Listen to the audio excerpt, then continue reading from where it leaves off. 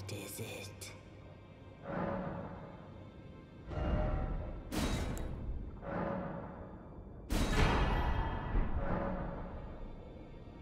Now go forth. Let the words of